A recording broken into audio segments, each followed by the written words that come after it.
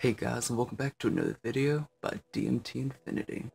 And in this video we're going to be going over marijuana starts to affect you differently after you start taking psychedelics. So this is not true for everybody, however for some people it is, such as myself. Ever since I first started taking psychedelics, marijuana doesn't affect me quite the same. Don't get me wrong, it didn't lose any of the value that it has for me, but it it's like it evolved. It became something different and something better. I started to get more enlightening effects from it, and I started to absorb more information whenever I was under the influence of THC. By the way, I just want to point out real quick that this video was inspired by PsychedSubstance. Go check out his video for it. I will leave a link right here.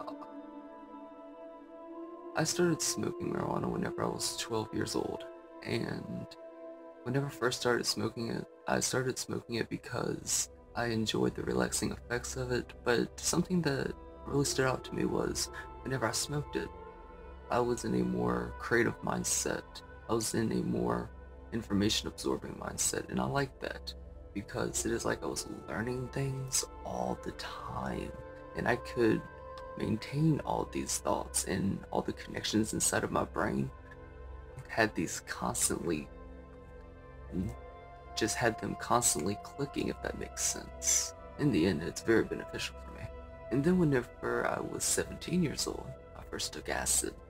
And ever since I first started taking acid, even whenever I smoke marijuana, it's, it's, it's not the same. It is like, it is like I fall back into that psychedelic mindset. This isn't really an educational video. This is really nothing more than a vlog in a way. These are things that I like talking about, and if you guys enjoy these videos, put a thumbs up and I'll keep making them. So guys, until next time, don't forget to comment, favorite, rate, and subscribe. Peace out.